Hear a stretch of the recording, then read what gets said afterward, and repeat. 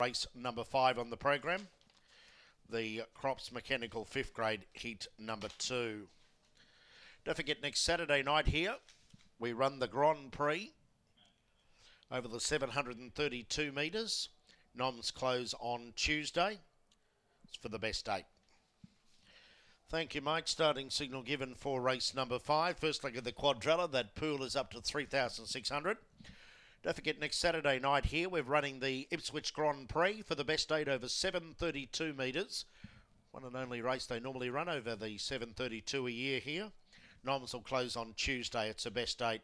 It's worth around $10,000 overall, the Grand Prix here next Saturday night. Last of them locked away for race five. Favourite is Prater's Promise.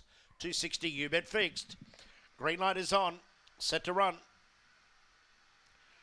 Racing, Prater's Promise came away quickly. Comaneci, Bright Satellite driving through, followed by Fab Harrier. Down the outside was Matriculate, but it's caught wide and bumping there. And checked was a million dollar, and also Comaneci running into the back. Prater's Promise got the fly. Three in front over Road Scholar. Matriculate to third, followed by Bright Satellite. Then came Gifted Angel. Fab Harriet and a long break to Comaneci and Million Dollar coming to the turn. Prater's Promise two in front. Road Scholar back to the inside, but Prater's Promise going strong. They drew away one by four. Second road Scholar, tight third, Matriculator, Bright Satellite, followed by Fab Harriet, then Gifted Angel, well back Million Dollar. Comaneci struck trouble at the first turn, came in at the tail in around 36.